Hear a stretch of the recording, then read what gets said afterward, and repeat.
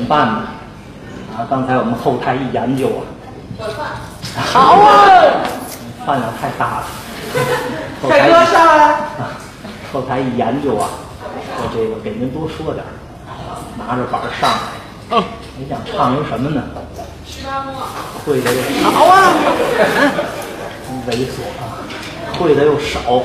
你像我会快板就这么几段儿啊，别同仁堂了，啊，两分钟就唱完了。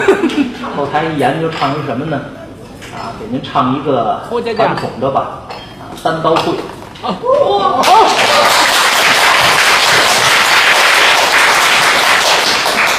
有有行家啊，一说单刀会底下，嚯，为什么轻易不唱这段儿？这段儿也累，非得是心情高兴，有翻跟头了。看见这么多热心朋友，有老朋友、新朋友啊，老和部队的，我要不卖卖力气就不像话了。啊唱完这个，唱完这单刀会呢，再给您说这个正段叫天王庙啊，呃，好久没唱了，在南京唱过一次，在北京还真没唱过。为什么戴着眼镜上来呢？啊，看着下边的朋友，看见朋友心里高兴啊。唱的时候呢，得把眼镜摘下去，我们这行的规矩。这个上台呀，不准戴眼镜儿，什么首饰啊都不许戴。今儿这个专场的题目是纪念刘宝瑞先生，啊，我单口咱说实话说的很一般，啊，专业是评书，所以先给您唱段快板儿，单口说的再次也就没关系了。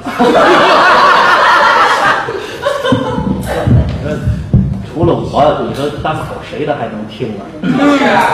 开个玩笑，给您唱这段三国的片段，关云长单刀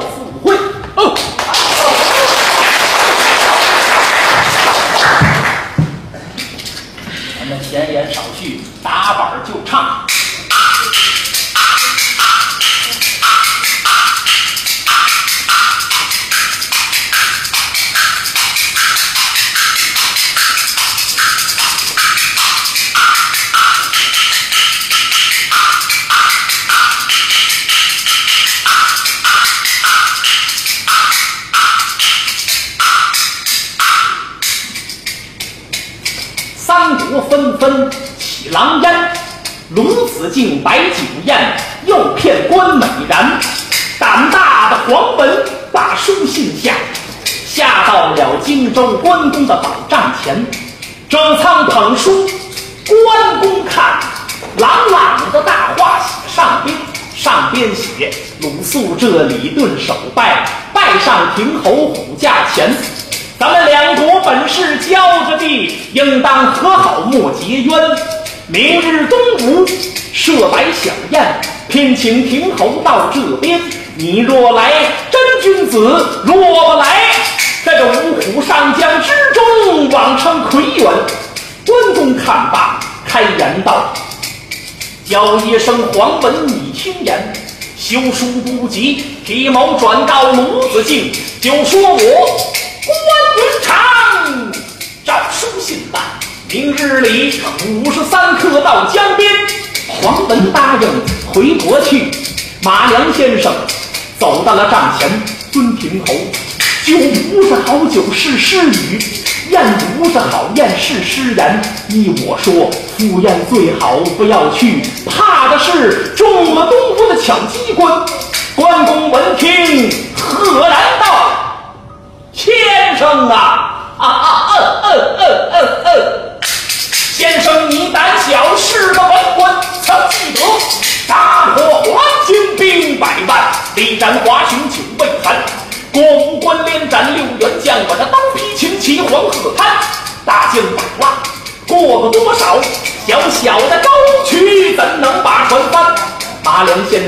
朝后退，一子关平便开言：“尊父帅，明日您赴宴多带人弓马，以防不测中机关。”关公闻听，残眉皱，胆大的蠢子也敢多言。明日赴宴多带人弓马，岂不让东吴想看咱？明日东吴去赴宴，就待周仓将一员。我命你巡查四门拿天喜，你与廖化早做准备迎接我回还。仪式完毕，散了大帐，高挑明烛把灯关，看春秋。看得花了眼，合衣耳卧入了眠。第二天，金鸡三唱，天刚亮，观云长洗漱完毕，用罢了早餐，换金接水眼前，上了青鬃马，周仓提刀跟在了后边。主仆二人来得好快，不多一时到了大江边。这个江边停的渡官船，小水手顺跳板，哪敢怠慢？关公、周仓是连人带马上了船，这个艄公们急忙起锚撤跳扬风帆，一起都把号子喊，开船喽！顺风来顺水开大船，青纱帐在船头上，船头上铺着大红猩猩毡，可他一把金交椅就在上边摆，关云长坐在了上边。周仓戳刀，身后站，关云长睁开了丹凤眼，你一看他长兄昂首，捋着长髯，这边来个将军官，但可见一点点的青天，红扑扑的日，微耸耸的高山，叠翠翠的盘，孤零零的江平，黑漆漆的住处，落落的村庄一目参。仰望关山两望远，影影抽抽不完满。一望四野天连水，日照不光万顷滩。云起浪打浪，浪浪打浪，荡不荡船？周仓大喊：“好大的水呀！好大的水！”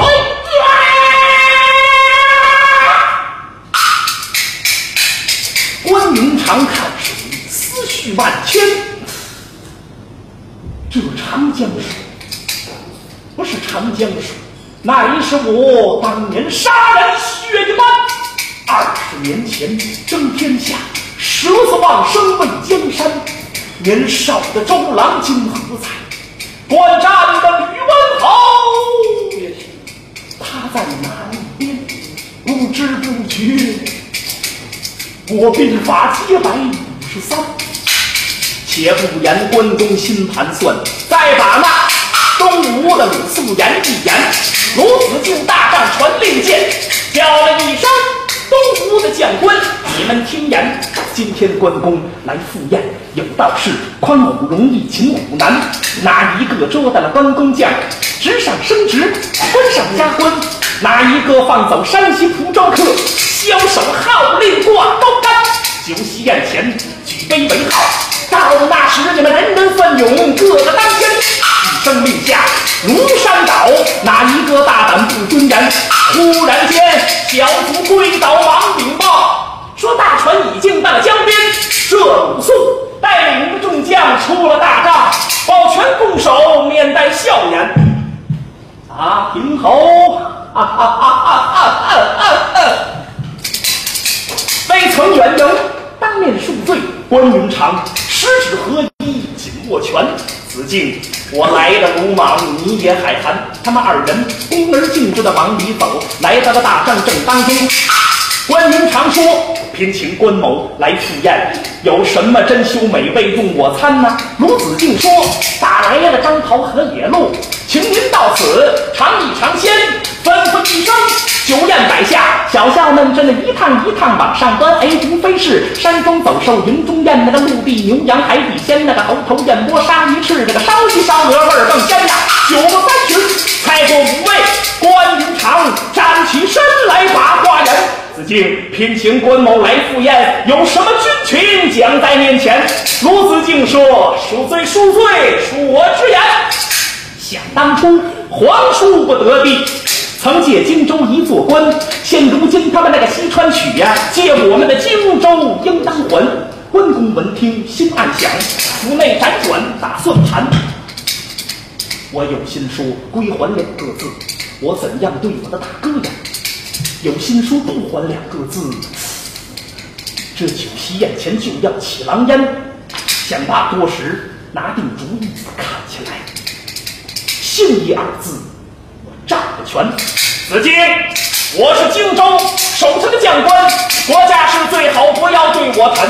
荆州，荆州，荆州的事，你找我大哥他去谈。鲁子敬说：“此言差矣，谁不知桃园三结义，兄当借，弟当还。慢说是荆州多一座，就是那刘皇叔的江山，你也担一担。”鲁子敬一句两句连三句，关云长当时可就哑口无言。忽然间有人一声高喊：“来呀，中仓将回转，小鲁肃！想当初曹孟德八十三万人马战将千员，当时要把你们东吴灭，你们东吴上上下下乱成一团，是你霍江把我们军师请，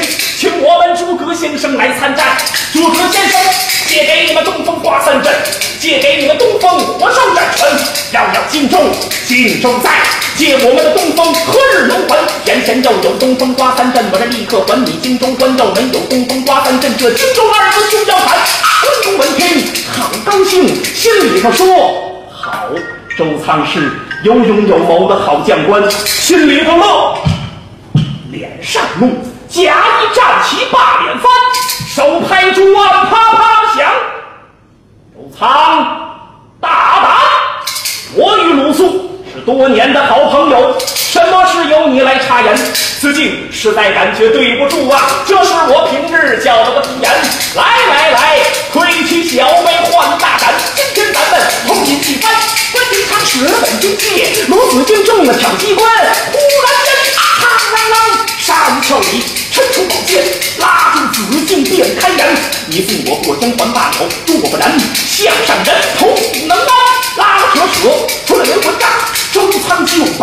把大刀悬呐，闯过了星辰本将寨，又过了八重虎狼烟，攻上前那刀出鞘，如狼似虎下高山，顿时来在江边站。啊啊！但只见毛练大锁链住了船。关云长说：“你不是没有害某的意，为什么？”毛练大锁链住了船。周仓一见，火往上撞，举起来，青龙偃月放光盘。就听见咔嚓一声响，做断了毛链的主仆二人上了船，把鲁肃推了个面朝天。叫鲁肃，今天端某来赴宴，明日请你到那边。你若来真君子，若不来，你是一个匹夫男。吩咐一声，开船走啊！鲁子敬蹲伏捶胸在身边，叫一声。兵奉徐盛两员将，将军官派将二员，赶紧驾船去追赶，不要放走红脸人。此时节，小卒跪倒忙禀报，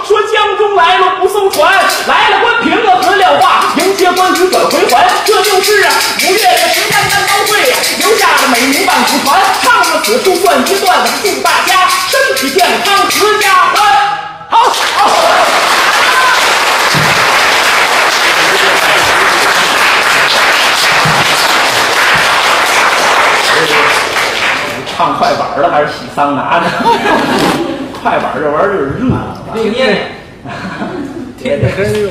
这个快板啊，跟快板书这都不一样啊。快板书、快板数来宝，单刀会呢是属于是这个快板儿啊，有故事，但是不用塑造人物。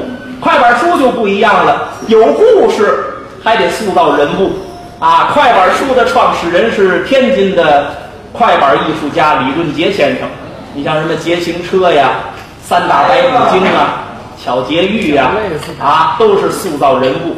你像捷行车那是家喻户晓，这段呢我就学了一半儿啊，没学全。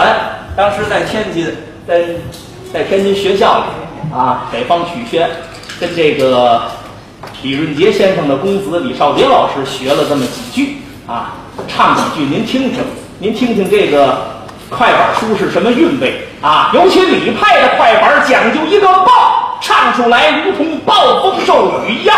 打板跟人家就不一样，爆发力很强，一打板这样。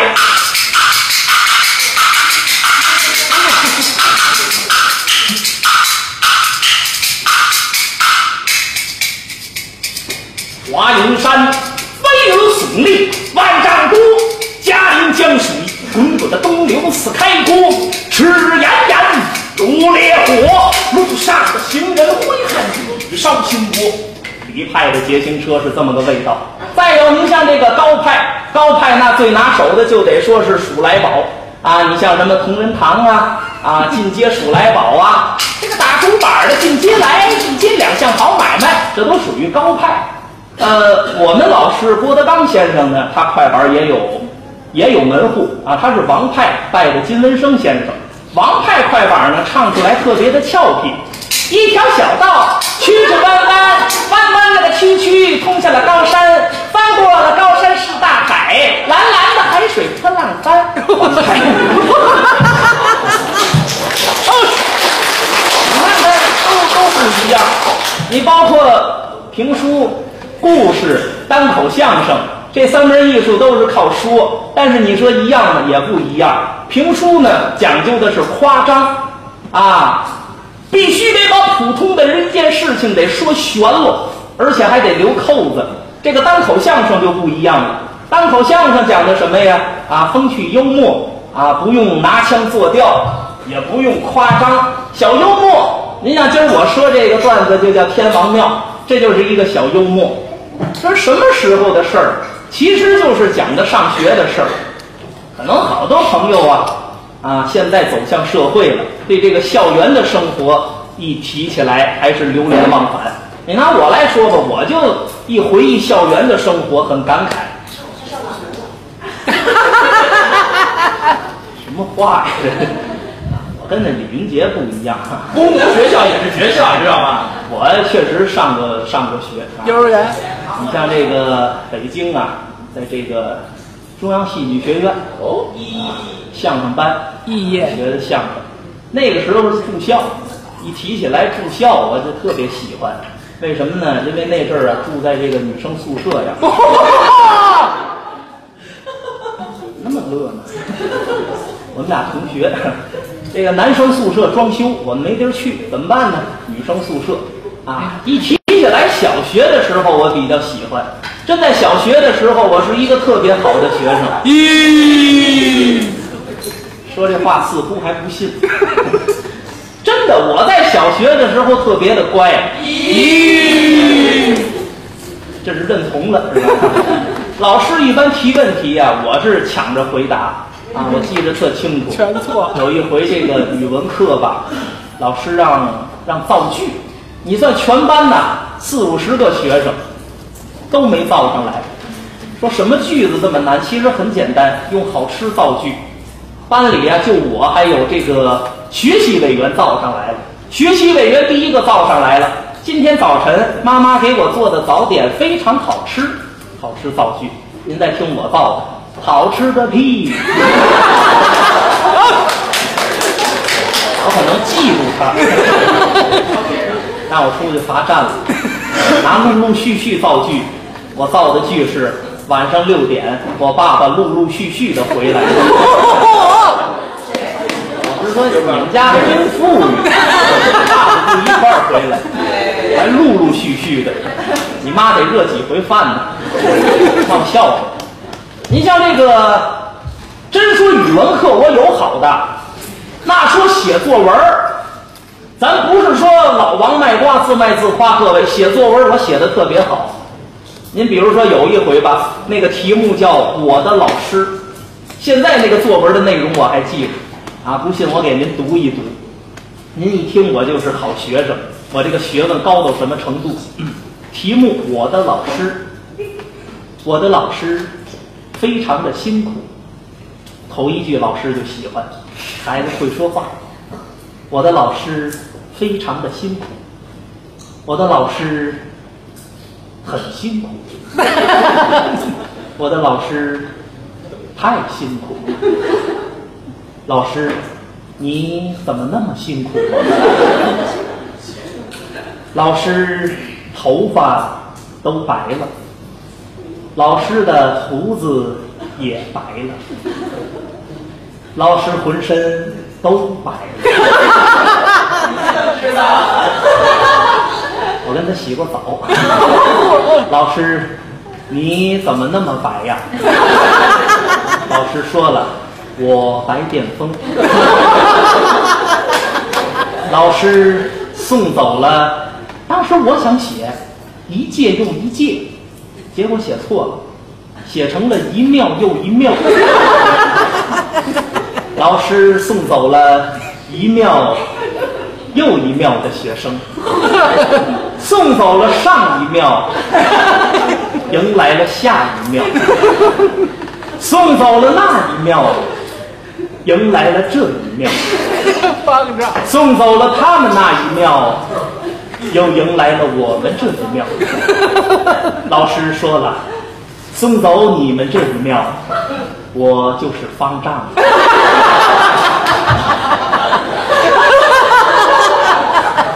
老师看完呢，老师看完脸都气绿了，拿着我这作文，阿弥陀佛。这位同学，明天叫你爸爸来一趟。我去，外面啊，这样不好吧？不来怼死你！我知道了，滚！把我轰走了。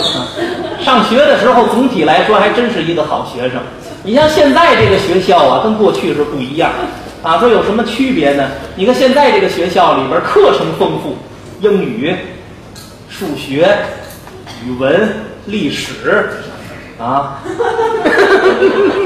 生理卫生，啊，我我我我都喜欢，啊、最最喜欢的最喜欢的是，咱俩爱好可能一样，最喜欢物理啊，物理呀、化学呀，这我都喜欢。有一次老师提问同学们摩擦会产生什么，我一举手，快感。哦，他他懂了，你看就他乐的最欢。过去这个学房是什么样啊？过去这个学房念的是三千百。说有人问什么叫三千百呀？三字经儿百家姓儿千字文儿。李云杰他爸爸赶上这时候，我也不知道他今儿说没说过。说了，李云杰他爸爸嘛，李云杰他爸爸有一外号，啊，叫小傻子。上学的时候非常的淘气。咱举一个简单的例子来说吧，很简单的摆个姓儿，翻开篇儿一看，赵钱孙李周吴郑王，简简单单的两句话。李云杰他爸爸念了一上午愣没念会，要不像傻子吗？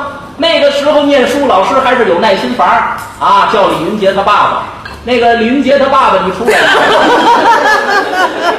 大伙儿认识李云杰，您再叫他爸爸，我学学李云杰他爸爸啊。真像，干嘛呀？干嘛呀？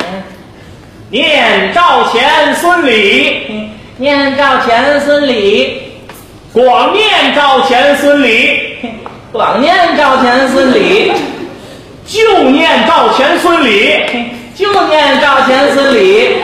老师说你怎么跟我学啊？李云杰他爸爸说句话把老师给气了，花钱不跟你学，跟他们谁学呀？老师说你这孩子可真够淘气的。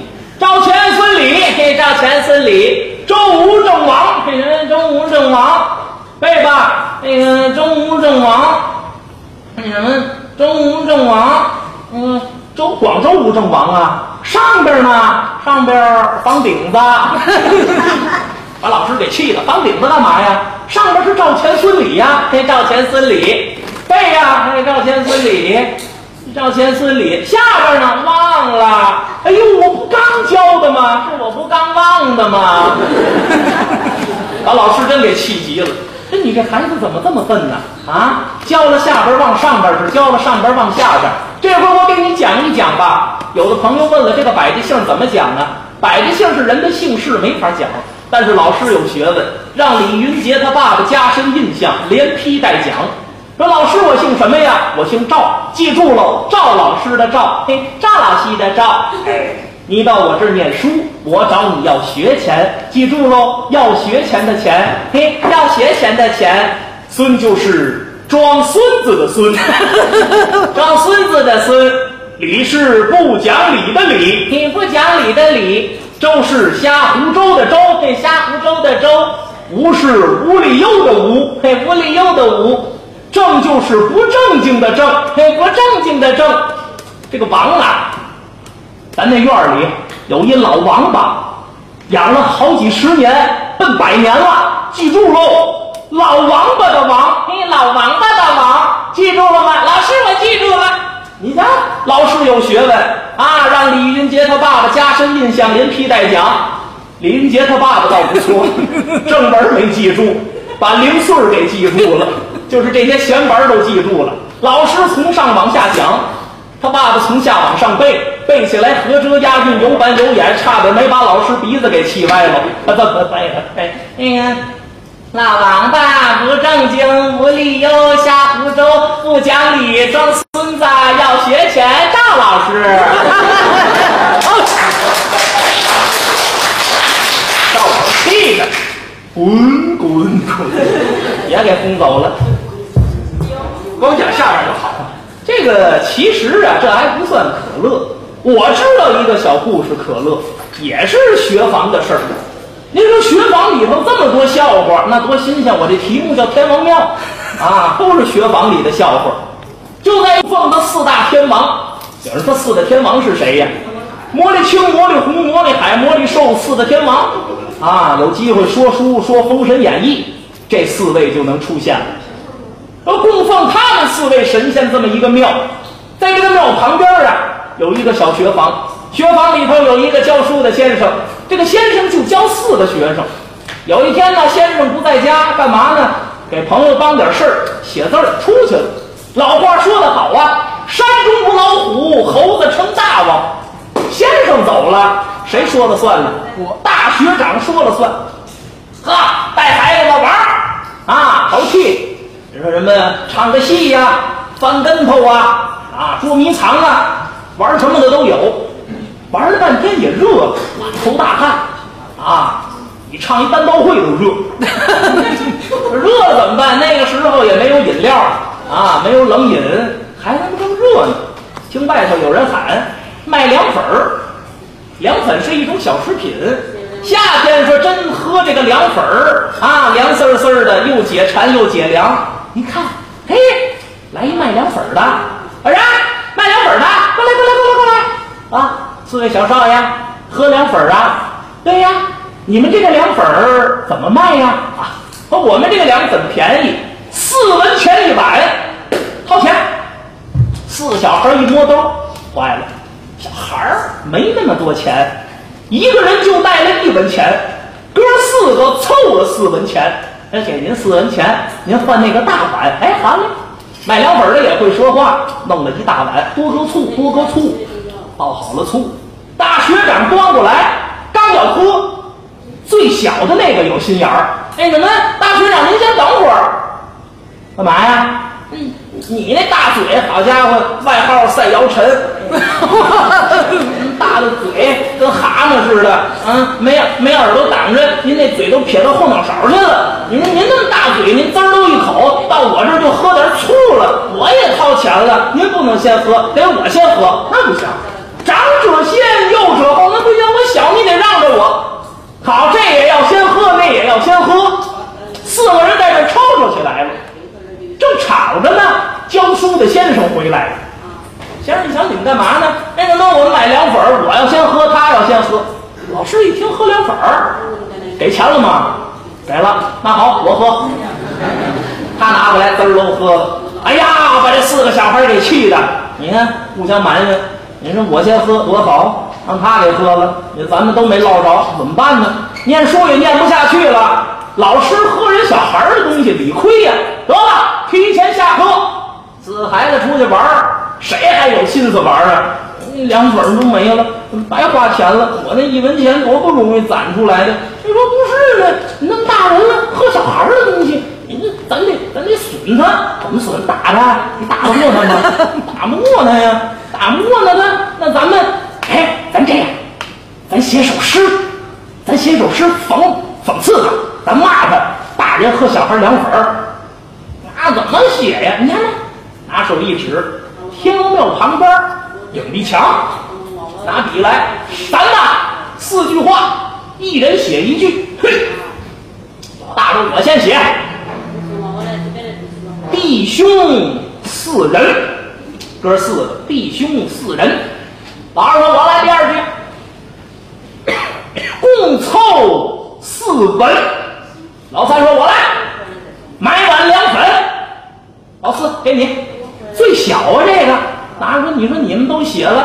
我没词儿了。弟兄四人，共凑四文，买碗凉粉。我写什么呢？一赌气，先生独吞。写完了，四个人高兴呀！弟兄四人，共凑四文，买碗凉粉，先生独吞啊！乐呵呵走了。他们刚走，来了四个进京赶考的秀才。这四个秀才也是游山玩水啊，打这个庙里头出来。说这个天王庙修的还是真不错。咱们都是文人呐，都有点学问，咱们不能白来呀。留个念吧，题诗一首，咱们哥四个一人写一句话。老大说：“我先写。”把笔掏出来，小孩儿啊，写在写在墙上，他们也往墙上写。嗯小孩个矮，写下头；四个秀才个高，写上头。填饱了笔，我写第一句啊，天王庙，天王庙神，大法身。七言，天王庙神大法身。老二，你来。老二说，身穿铠甲似龙鳞。顶盔贯甲，罩袍束带，啊，鱼鳞甲穿上跟龙鳞一样，透着漂亮。老三给你，老三把笔接过来。天王妙神大化身，身穿铠甲似龙鳞。我来，脑袋倒有麦斗大，大个大脑袋。老四给你，老四说你们都写了，我写什么呀？天王妙神大化身，妙你们写了。身穿铠甲似龙鳞，穿戴你们也写了。老三脑袋倒有麦斗大，大脑袋都写了。我写什么呀？一琢磨，脑袋倒有麦斗大，大脑袋，脑袋大，嘴大呀，嘴大必然吃的多呀，吃的多必然拉的就多呀。一赌气，一掏大粪十五斤，走了。他们是走了。教书的先生出来了，先生出来一看，哎呀，这是哪位秀才在这个影壁墙上题诗一首啊？过去一看，几言呐？拿手一数，哎呀，新鲜，太新鲜了，十一言呐！那又说怎么十一言呢？咱刚才说了，小孩个矮，写的是四言啊，一句话四个字儿，写在下边了。这几个大人呢，写的是七言，一句话七个字儿，写在小孩的上边了。您说怎么那么寸，愣对了行了？一瞧十一言，哎呀，十一言诗，少见少见，我得读一读。我看看啊，天王庙神大发身，弟兄四人，对，好，合理。魔力青，魔力红，魔力海，魔力兽，哥四个吗？天王庙神大发身，弟兄四人。看第二一句，身穿铠甲似龙鳞，共凑四文。哎呀不通啊四个天王冲四个钱干嘛呢？不懂不懂。看第三句。脑袋倒有卖粉大买碗凉粉 哎呀大脑袋喝凉粉看最后一句一泡大粪十五斤先生独吞。我呀。